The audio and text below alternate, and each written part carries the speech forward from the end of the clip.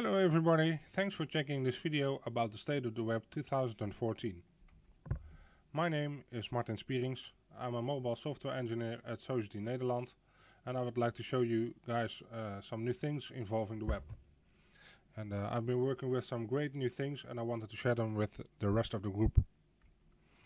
So what am I going to talk to you about? Well first some new news about the web in 2014, then some new tech to show you, uh, some demos and now we'll end with the future of the web. So what's new for the web in 2014? Well first off uh, there is increased mobile support. More devices are coming online and more new features are supported in their browsers. Secondly uh, there's an approach for mobile first design where more sites and apps start with their mobile dimensions and work their way up to the bigger screens and also they support touch and other device features. Then there's more site utilizing HTML5 features like font face and video. And of course the end of life for Windows XP, which means the end of Internet Explorer 9. And also Google is now forcing uh, Android 4 on budget phones. Also new are the operating systems for mobile, Android L, which will feature material design, iOS 8, and Windows Phone 8.1 which will all have a, a, few new features on their web browsers. And as you can see on the right side you'll see that uh, Chrome is currently the most popular browser followed by Safari, Firefox and Internet Explorer. Um, and Internet Explorer is currently on version 11 which is running on Windows 7 and Windows 8 and of course Safari is on uh, mobile and in the OS X so uh, there's uh, a couple of changes the past few years. Uh, Chrome is the most popular, Firefox is slightly less than it used to be, and Safari is running third or second if you count all the platforms at once. So next up, HTML. HTML is currently uh, nearing the stable recommendation where it is finished in 2016. The 5.1 will have its last call this year and they're working on the draft for 5.2 and in 2012 they separated a few specs like canvas WebRTC RTC uh, web workers web storage and media so they can develop them separately from the HTML standard. Then CSS there are a couple of changes in the past few months. There's now a better focus on using the GPU for example for making uh, JavaScript uh, for making animations. And uh, they are using less JavaScript for handling things that CSS can do. Um, also there is a new CSS4 proposal which will have uh, a couple of new selectors for example like the uh, parent selector. So if you have a menu item you can select it parent from the child itself which is also pretty handy.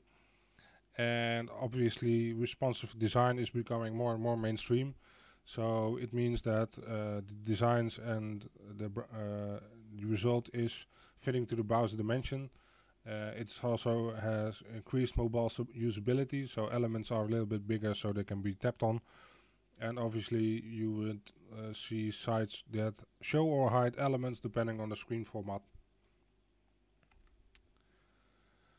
Then there is Sass. Uh, it stands for Syntactically Awesome Style Sheets. It's a new technique that uh, is has first appeared in 2007 and is uh, slightly different from LESS, which is also a similar technique. Uh, it's a little bit more uh, full features and a little bit easier to use. Uh, what it does is it allows you to supercharge the style sheets allows for less repetitive code, it allows for a clean structure, it's uh, better maintainable, and it offers true import, so it doesn't need additional HTTP requests. Um, and I've uh, inserted a part of code as an example.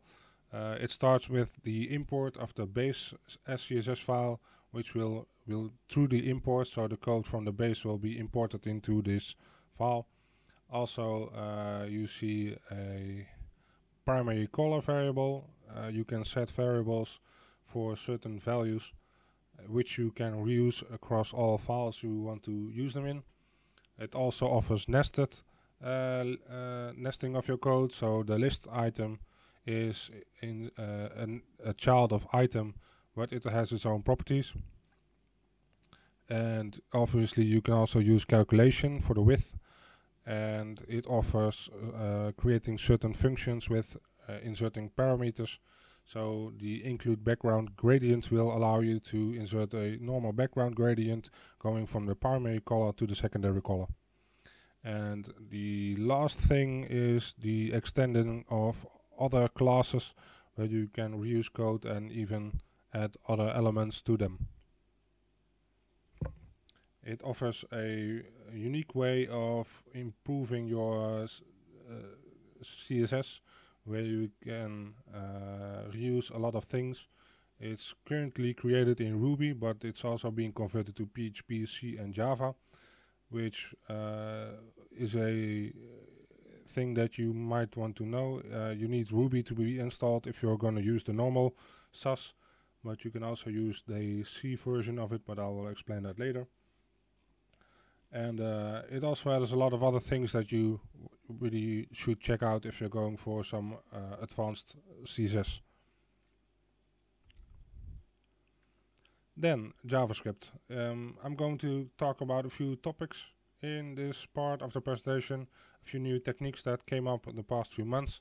I would like to show you in the demos on how they work and uh, they are starting to make uh, using JavaScript for your coding a lot more sense and they also offer a lot of great ways for improving, uh, speeding it up or having things bootstrapped for your application. And Node.js is a portable WebKit engine. It's a platform as you might want to call it. It is uh, it works cross device and cross operating system. It can run JavaScript applications it offers us uh, a few modules uh, uh, with the installation like an internal web server. It's event driven, non-blocking import output, which means that it has only a single service which can uh, answer to various clients and it can even run on hardware uh, according to the Tessel.io project. So why do you want to use Node.js? Well, first off, you can use it for an API. You can also use it for mobile as a backend uh, for your app, a front end for your app, making a hybrid app or even a web app. You can also use it to make a web server for serving files or serving a single page application. And you can also use it for the Internet of Things to connect with devices in your network. Then there's Express.js, which is basically an extended web server for Node.js. Uh, it's a module like all uh, extensions for uh, Node.js will work. you include it and you can use the advanced things it offers like the easy setup for a REST API for getting, setting, updating and deleting data. That can also be used for uh, a web server for accessing certain paths or certain files. And uh, it's easy to use as a more advanced way for running a web server with Node. And uh, obviously it's a module, Node, is pretty modular and uh, it allows you to extend it very easily and use it for your project. So next up is MongoDB. It's a popular NoSQL database in JavaScript and it offers a few neat features um, which ends up in basic JSON requests and as you can see the right side that's pretty much the data you could get back from a single person which offers obviously uh, the true JSON syntax with nested code and it runs as a separate service so it means that you have to boot and install it separately. But you can then access it much like other database libraries for Node.js like Redis, PostgreSQL, MySQL and MSSQL you can also use alternatives like NoDB even, although they are a little bit less uh, popular than MongoDB, but NodeDB offers a way for including it in your project without having to rely on an external service. So if you're going to work with databases in your Node application, that's probably best if you look at MongoDB, but there are also some alternatives. Then there's NPM, which stands for Node Packaged Modules. It's a package manager for Node.js. It allows you to install packages from the npm registry, which is located at npmjs.org. And it allows you to retrieve dependencies with a package.json file, which you can declare your dependencies or your development dependencies and use that with a single command to install the required dependencies or even use them globally. But if you're going to install them globally, you'll require the sudo command from OS X. So that's something to take in mind. Also, uh, npm is uh, pretty unique as it installs uh, the dependencies of your dependencies, which will end up uh, as a big list of a dependency inside a dependency, inside a dependency, inside a dependency. And uh, for most of projects, that's a good thing because you know that every dependency you include won't break if you have other versions installed. But uh, for front end, we have a other solution, and that is called Bower. It's a package manager for browser components, which are assets, frameworks, libraries, and utilities like Angular, jQuery, Bootstrap, and uh, go on. So why not use npm? Well, basically, uh, uh, Bower offers a flat dependency tree, so there are no additional dependencies required because you're only using them for your own application and not developing themselves. Also, it's specifically for front end, and it also offers a bigger community for front end. Some uh, packages that are on Bower are not on the npm registry, although they're currently porting a lot of them over to that too. And uh, if you're going to use browser components at the moment, you're probably better off using Bower. Then there's Grunt, which is a task runner for automating repetitive tasks. It offers a lot of modules and you can run tasks once or continuously. You can use it during development or to create a production package. And it basically allows you to create, modify, watch, generate, test, clean, optimize and much more from the task you set it to. And uh, it also has an upcoming alternative like Gulp, uh, which is a little bit different uh, and uh, it's a little bit newer, so it's less popular than Grunt. But uh, at the moment, I feel Grunt is a little bit easier to use and a little bit better to get into because it offers a lot more modules and um, it allows you to run a uh, few tasks from a single file and use the command line to get it going. And I'll show you in the demos how that works. Then there's Yeoman, which is kind of an uh, extended version of Grunt. It allows for scaffolding and generating web apps. It offers a uh, uh, it is used via command line and offers a vast amount of generators. It allows you to update things and automate things where you can start your project with a single command and then use a couple of questions to get it customized. And uh, eventually it allows you to run your application or debug it in how it uh, how you see fit. And uh, it's currently pretty popular in setting up your project so it's uh, definitely something to check out and then there's Automate the Automation, uh, which is a do-it-yourself project. And uh, I came up with it the other day, uh, and it allows you to single-click a few node tasks or whatever task you want to run, which will allow you to install or run a server or run your development uh, tasks uh, just very easily. And it makes sure that there aren't any mistakes in any typos or wrong versions or whatever, which is something that is probably pretty handy if you're going to start with these web projects. And I will see if I can uh, put it in a demo and uh, show you how it works. But it's just something that I, ca I came up with the other day which is pretty handy. Now another big chunk of the presentation. Um, it involves AngularJS, which is a front-end single page, page application framework, or JavaScript MVVM MVC and uh, it's backed by Google, which is uh, also pretty important. It's very popular, although you shouldn't really use it for plain websites because it's really something for single page applications. And uh, to uh, explain the popularity at the moment, I've uh, set up a uh, graph on the right side which compares the amount of search requests for Angular, Backbone, Ember and Knockout, where obviously Angular is way, way more popular than the, the others. So uh, it's something to keep in mind. And uh, you can use Angular for dashboards or things like front end for your data app. Uh, you can use it to build a standalone and offline app.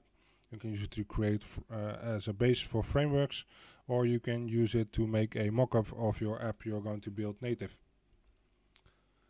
So here are some highlights from Angular. First off is the two-way data binding, which allows you to have the same uh, same objects in your front end as your logic. Uh, it also offers directives, which allows you to make your own HTML elements. So I could create a HTML element like widget and allow it with a certain logic, a certain template and easily insert it inside my code.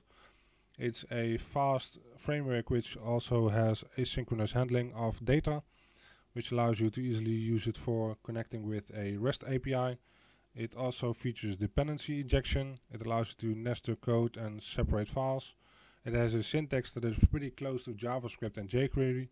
It allows you to make a clean structure and have it easy to manage. It's also pretty easy to learn, although it is hard to master.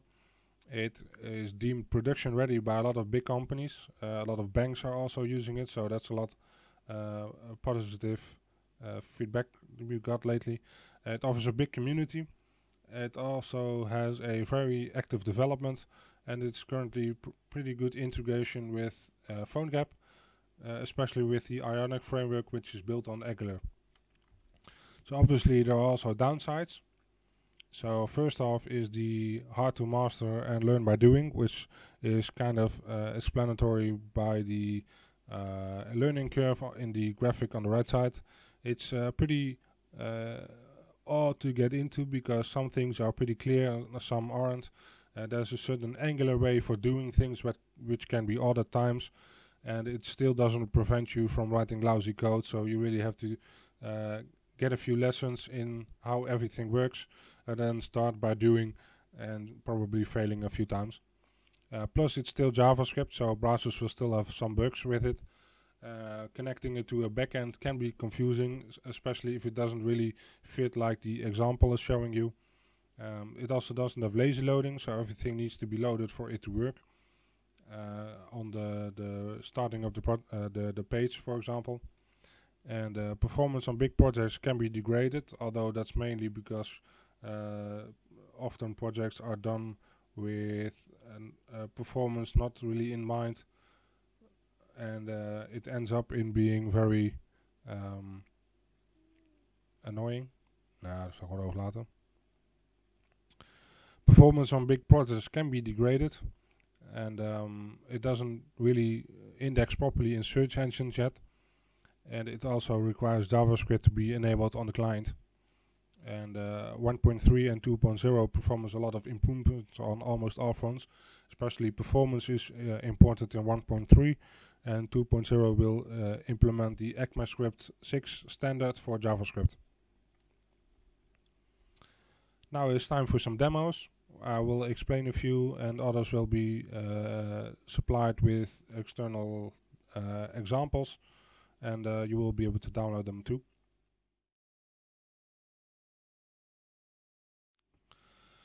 So now I'm going to show you a few demos and explain a little bit more about how everything works.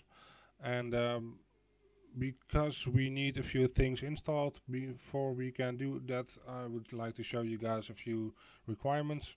So first off is Node.js. Uh, you can easily download an installer from nodejs.org, which is for all the platforms you will be, will be needing. Uh, also, there is Ruby, which has a Ruby installer at rubyinstaller.org, which allows you to easily install Ruby, and also Git, and uh, which will be uh, enabled in your command line. Um, you really have to add them to your path if the installer requires you to uh, make such a choice. But um, for the Bower you need Git installed. For sometimes you will require it to use the Git command line. And Ruby is mostly used for uh, handling Sass. Um, because even though there's a node package for that, uh, it's not on par with the latest and most projects still use Ruby for that. So you have to take a look at that. And um, we'll also be needing a uh, application to get the examples uh, on your screen, which I'm using the default uh, Explorer, and also a uh, editor, and I'm using Sublime Text with a few extensions. You're probably better off using the package manager and, download a few packages, uh, like for instance uh, the sidebar of the code and a few other neat things I've installed. And um, first off, I'd like to show you how a web app could be uh, in the modern days. And for that, I'd like to use Atraci, which is something I found the other day and um, is a very easy app for uh, playing uh, movies. It's probably using YouTube as the its uh, backend, but still it's uh, it's a web app because if I open the settings, it allows me to open the DevTools. And as you can see, it allows me to inspect every element of the page and even allows me to uh, change some information because why not? So if I change it to uh, something with the artist Martin, oh, forgot the end there then that's something I could be doing. And obviously you can also use it for search. So if I'm going for Armin van Buuren, it has a few things and you can start a clip and even have a movie, which obviously is a, a YouTube video. But still, it's a nice thing to have, and uh, it's obviously uh, still web. I can even inspect the video it's using, and um, because it's in a video container and I can even set uh, I don't want that background I want a other kind of background uh, if it's using anyways um, oh you saw the purple uh, stuff? Yeah. So that's uh, something a web app could do nowadays which is uh, pretty awesome I think. And uh, it allows you to do a, a lot of stuff with JavaScript. And um, to get everything uh, going you really need these kinds of requirements.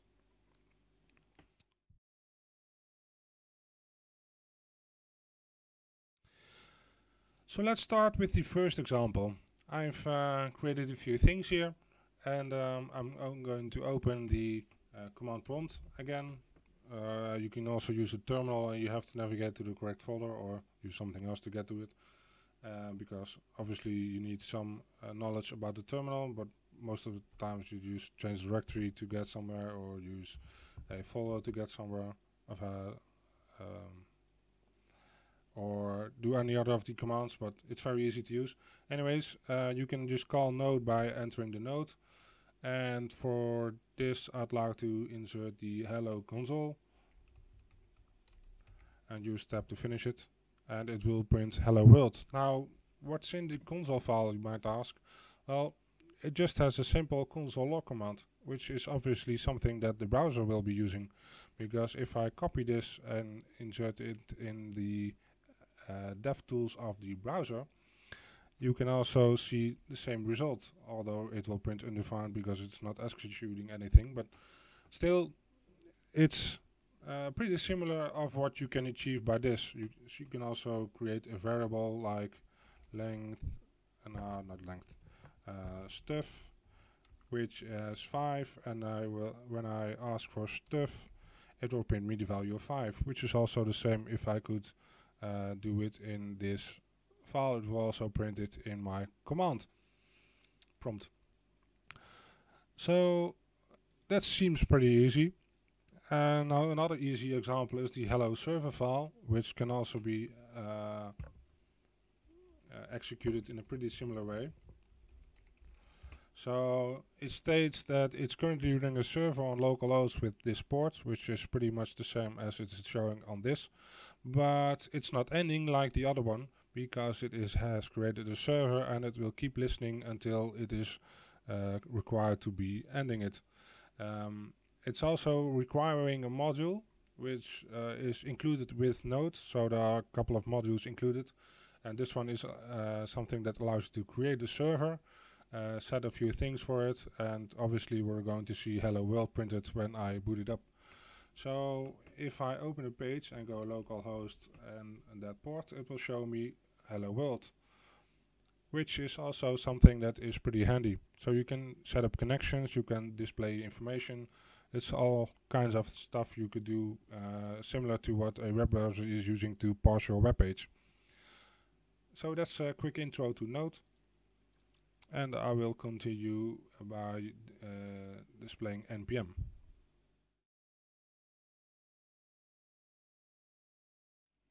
So now I'm going to take a look at npm and I'm going to take a similar approach as the other file by opening a command prompt here and I will execute a few of these lines and tell you a little bit about them. So npm is installed with Node as a module. So if I enter it it will show me which version is currently installed. And obviously there are also other commands I can use. And basically npm allows you to uh, get dependencies from a package.json file, but as you can see I only have a readme here, so I can use init and uh, create it. So it will walk me through and I can give it a name, so I'm gonna use a few fluff names which is correct and something like that. I don't have an entry point at the moment. I don't have a test command. I won't want a git repository. I don't need any keywords obviously I'm the, uh, the author and sure that's all everything is correct.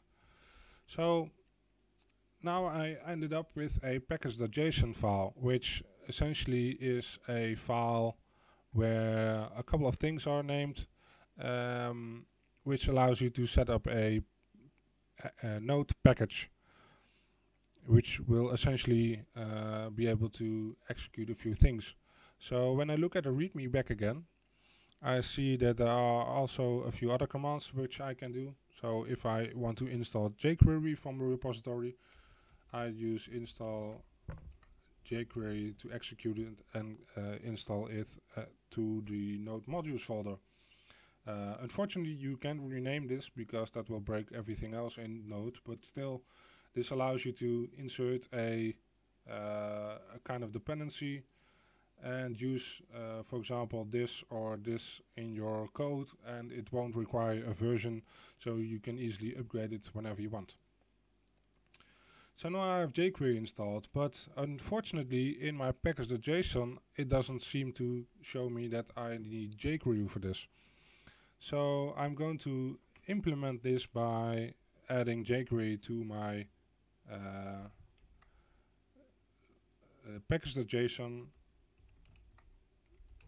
by adding a line called save or you can use save dev as a development dependency.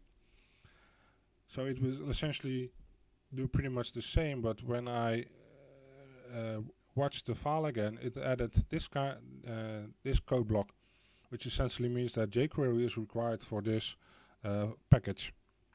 You can also have other dependencies in it and if you are opening that you can use npm install and uh, install every dependency from the package.json which is uh, a pretty easy way of using dependency management inside your project. Now obviously it has a few warnings here because there wasn't a repository field uh, installed in the file from jQuery, but still um, oh no, from the local uh, file, but still it's uh, it's a handy way of handling your dependencies if you require uh, external dependencies. So next up is Bower.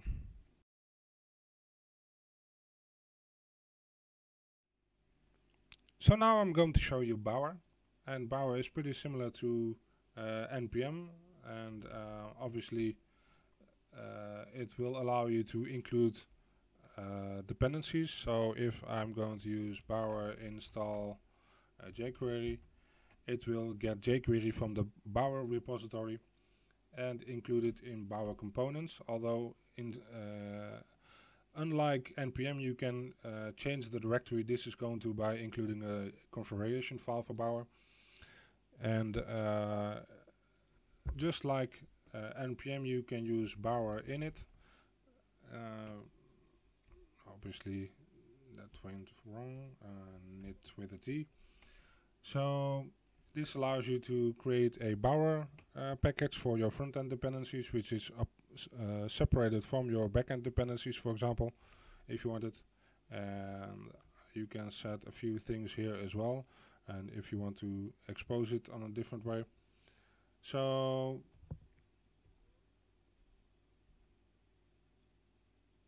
I can also use it to include already in installed components. So for example, I'm going to use that now and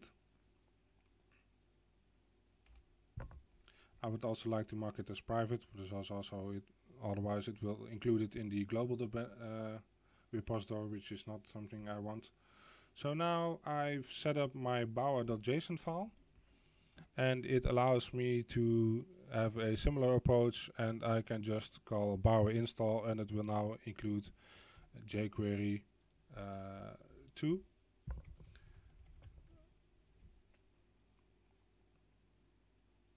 So as you can see, it installed jQuery in my folder and it's pretty much the same as the other one. And I can see the source or I can use the distribution Uh, much like npm can. But the big change is that this is now coming from Bower and not npm, so you can really say where you want it to go. So if you want a vendor directory for your front-end app, you can use it just like so. So that's a, a small introduction to Bower, and I will continue with Grunt.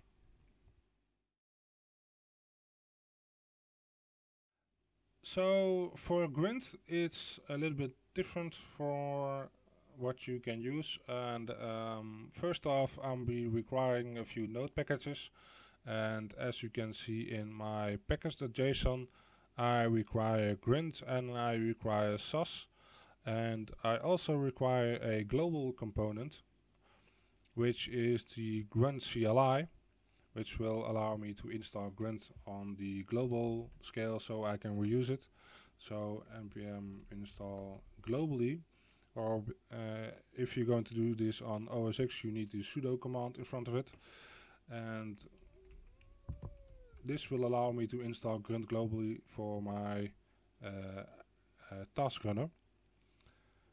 So basically this allows you to use the grunt command much like uh, Bower and uh, now I will use npm install to get all required files for my project. As you can see it installed the node modules with the two things involved.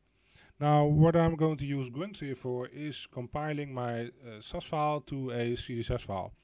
I have a style.scss which has a few things that are different from normal style sheets Right, so I have declared a value and I'm setting the value and I'm calculating the value in a nested thing. So body is a parent from something which will be uh, compiled and compressed in a normal CSS file which is generated in my CSS folder but it still doesn't have any. So how am I going to do that? Well, I created a grunt file with a few things in here which allows me to initiate grunt and load a task and initialize a config and register the task as default so I don't need to use it anywhere anything else but if I change this it will allow me to use grunt with a separate um, value to run a different task so now I have everything installed I'm going to use grunt and it will allow me to create the CSS files in my CSS folder. It also created a map file to show me where it came from.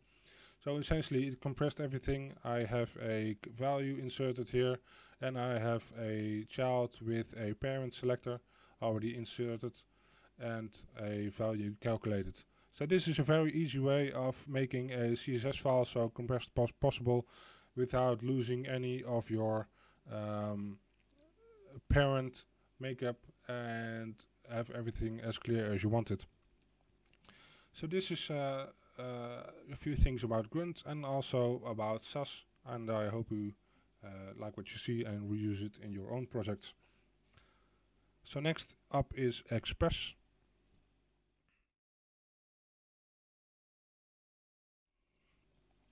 And Express is uh, similar to no running Node, although this is a little bit different. Uh, for Express you'll need a module, so it requires you to get Express from the npm registry. So that's what I'm going to do now. And this allows me to run a server with a little bit more features and it really separates from the rest of your code so it's pretty easy to create a backend that's separate from everything else. So now I've got the Express installed and as you can see I've set up a uh, a route which will be serving a file with this content because I can also set it for a file itself but I'm going to show you how the routing works with this. And it will be listening on a certain port. And like the other node demonstration I will use a uh, node and add the app.js file to it. Now it says that it is listening on port 3000 so I will open my browser and go to localhost 3000 which also states that it cannot get which route I have but as you might see from my file I've only set up this hello uh, txt file so when I insert this in my browser I will show the hello world from the uh, file that I've set up and sent to my uh, browser and it doesn't really state anything here and it will won't be stopping uh, much like notice and I can just quit the command by pressing Ctrl C. So this is a short example of what Express does. You can set up a few routes if you want. You can set it to listen to a port and really use it either for sending data or handling files. So next up is Yeoman and uh, it will be a little bit different from what you've seen uh, before.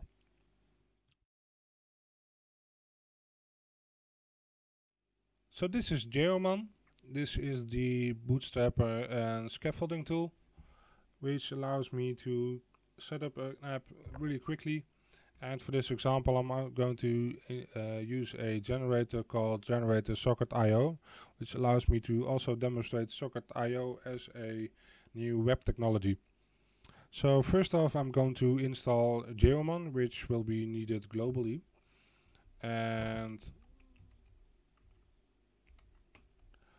this will allow me to use the yo command for my generators. Now you can use the generator globally but you can also use it um, locally. So I'm going to install the generator uh, locally to show you that you can also use that. And every time you use the yo command it will also use the, the local node modules to look for their uh, commands. So npm install g generator socket io and basically this will install the generator which is a socket.io chat app.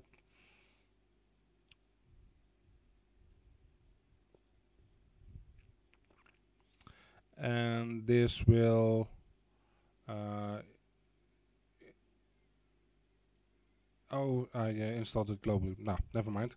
Um, so I now I can use the socket io command to bootstrap my app and it will ask me a few questions so how do I want to call this? Well, I want to create it stuff again. I'll do a brief description that I don't really need to.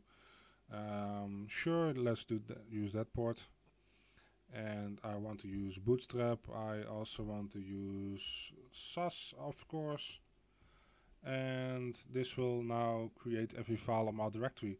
So as you could see I've only set up a readme.md file but this has downloaded a couple of files too inside this directory. It also installed a few node modules for my project so I don't require them to do uh, globally And uh, as you can see, I've now have a few node modules here installed. Obviously, they're using Grunt, they're using Express for their server, they're using Live Reload, which is also pretty neat, and Socket.io. And if I look at my other files, it has a public folder with uh, all the, the CSS files that will be generated here uh, when I input the command. It uh, also doesn't have any other additional routes and it also has a single index.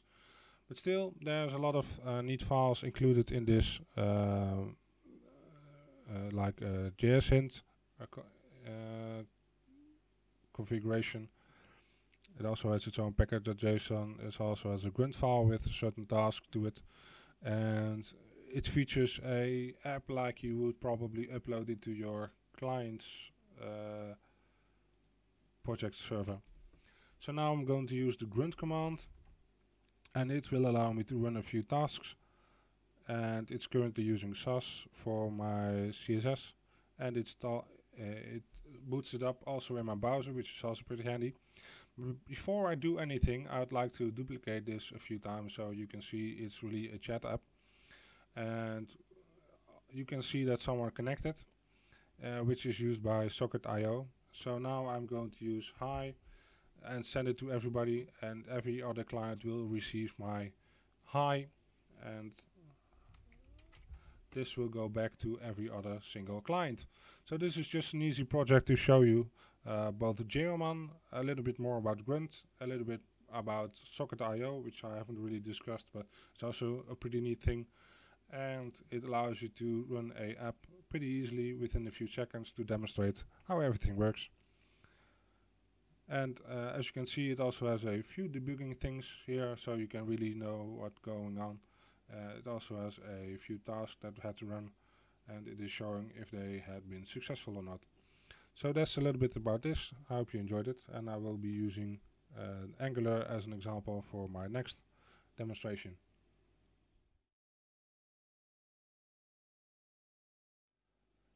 So this is uh, something about AngularJS. First off, I'm going to show you what I've done in my demo file. I've set up a index.html file with a few lines inside and this is to show you how the two-way data binding from Angular works. So basically I'm initiating an app by including the ng app which is not normally a uh, HTML attribute but Angular is adding this to the list and it will be converted uh, however Angular sees fit. It also features a input uh, input uh, box with a ng model connected to it it currently has this value. And you can also see this. This will print out the value from the ng model and it includes the angular.js file. So now let's run this in the uh, angular folder. And as you can see it's a simple input field nothing more nothing less. And it allow me to include Bob as my input and it will also show me immediately on where my uh, where my output is. So everything I include here will be shown below and essentially is able to uh, send back to a controller or whatever and use this as data in my application.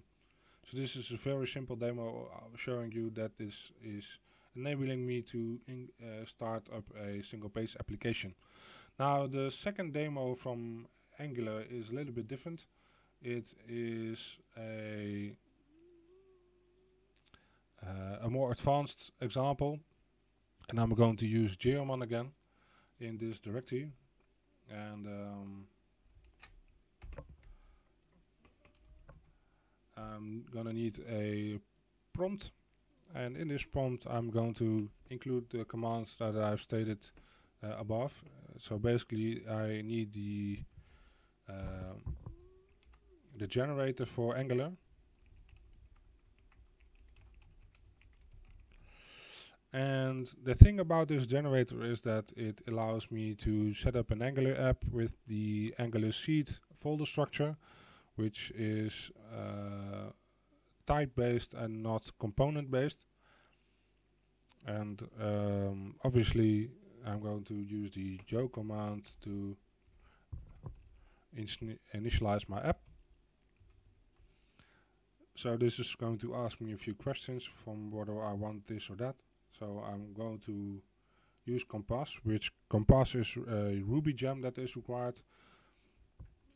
And I'm going to use the Sass version and sure, why not install everything. And as you can see it immediately download a few files in my directory and is, is going to initiate everything that it needs to install.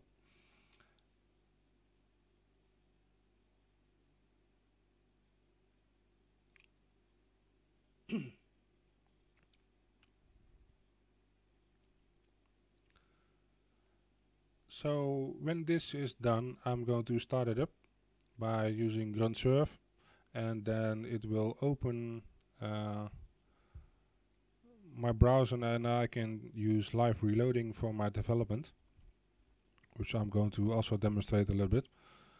And I will also show you how easy it is to add an additional uh, route for your page. So it uh, it will enable me to easily extend my application. And as you can see it installed a app folder which will contain most of my programming. It has already installed a few things like German, it added a few script files and the main Angular app file is here where it declared routes and it declared which models it required. Also has a style folder which is using uh, the CSS file, the SCSS file and um, it also included a few things. It also included a few variables and such so you can easily see how that is working. It also has a few views which allow you to separate from your uh, code and I will then also add a few other things um, once I have it running. So it, it's done with installing. So now when I use grunt again from my Angular demo, I, I, use grunt serve as it will also serve my file and open my browser for it. It, it will run a few tasks to prepare, so it uh, has a file uh, style sh sheet installed. And obviously it's using live reload. So this is the base of my app at the moment. It has a temporary index file, it has an about view, and it doesn't have a context view but that's not really important right now. As you can see it also uses the normal routes although it has a um, hyphen inside which will normally be used for going to a certain part of the page but Angular is, is using this for the routing. So whenever I change anything on this uh, style sheet so for example if I add a background color to my body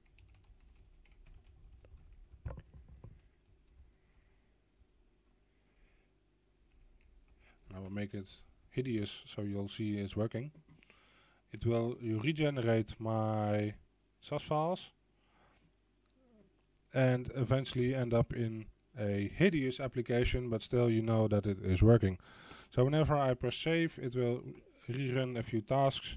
Um, it's a little bit slower than what you might be used to but this can be sped up by a few other tweaks but still for demonstration purposes obviously this is fine and you can also use it to add components of your app. So I'll be exiting out by pressing Ctrl C.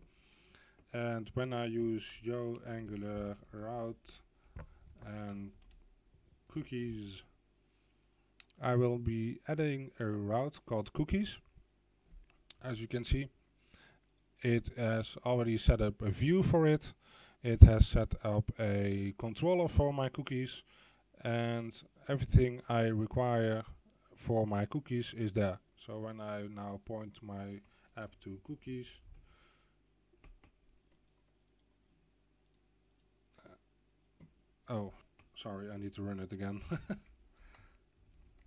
so it's booting up again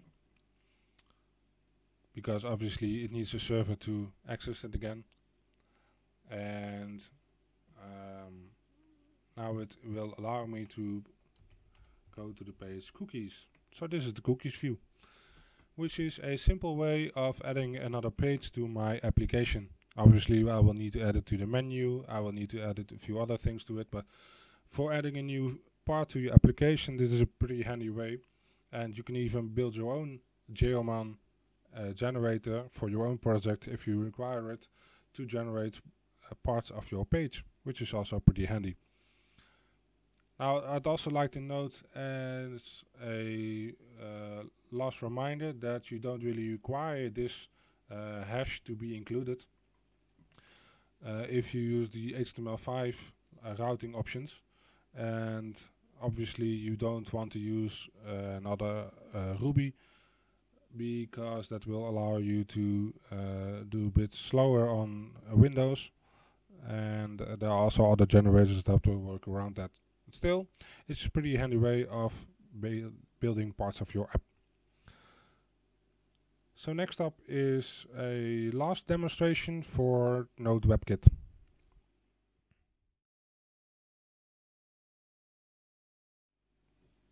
So now I'm going to show you what Node WebKit is all about. It's basically the, the basis of what the app is all about, but which I showed you at the beginning of the examples. And it allows you to make a desktop application. Um, if you want to use a mobile application, you're probably using Cordova or PhoneGap, but Node WebKit is specifically for the desktop. And I will also use Yeoman again and I'll also use uh, grunt again to create the distribution. So first off I'm going to require the generator.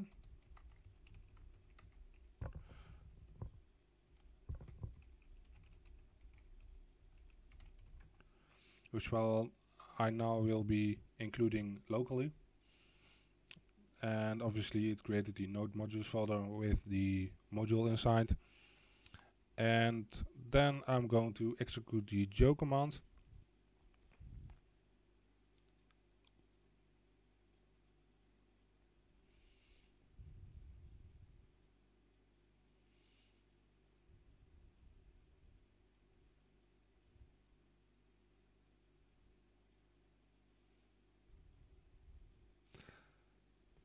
So now the yo command and it will ask me a few questions if I want to include an example, which I, will be doing.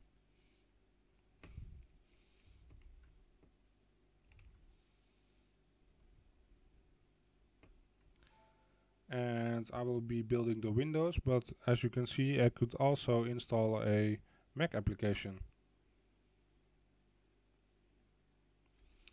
so for the examples I will be using the WebGL example as this is just a quick demo for showing what it is all about.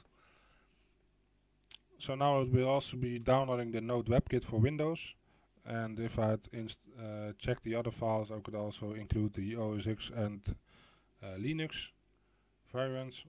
But I'm currently only in interested in the Windows and this will allow me to build a uh, simple demo which shows WebGL as a graphical uh, example. So basically it's a single shape that will be rotatable with your mouse. And I'm going to create the distribution.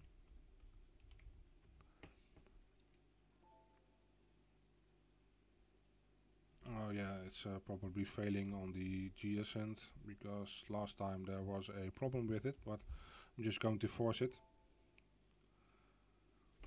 Uh, JSHint is, is uh, mostly a way of checking your JavaScript files for errors and it found a couple but uh, something wrong in the uh, generator but still it generated an app for me and uh, this is the code from the app itself and it created it in the dist folder which now is a zip file. And when I run the stuff it will run a simple application with a node which is a hand on uh, with a logo attached to it. And whenever I use my mouse to move around it will also move around which is just a simple demo. But I like what it represents because it allows me to make true applications for the desktop. Uh, they might not utilize everything, but I've already seen there's a lot of modules involved for this, which even allow you to set up a web server or a uh, dependency for that web server and even connect a client to that web server from your Node application. So there's a lot of things involved in Node WebKit lately and uh, it allows you to uh, make a cross-platform app for the desktop, which is also pretty neat. And obviously it doesn't let me quit, but still, like everything, it closes down. So these are a few demos for the uh, State of the Web 2014. And let's head back to the presentation.